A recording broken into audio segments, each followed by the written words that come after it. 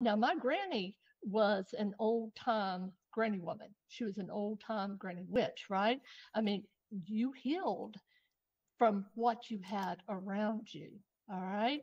And also, my granny, uh, you know, she was a midwife and uh, she delivered several babies. Uh, you know, she she'd go over a mountain with a bag and help somebody have a baby, and then she'd come back home. That's on foot, and and that's what she did. That's what we did for each other in these mountains because it.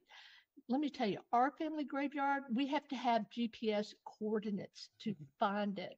When when I tell you that in these mountains, that especially I grew up in West Virginia, those mountains, they're dark and they're powerful, and you need to know your way around them in many, many ways.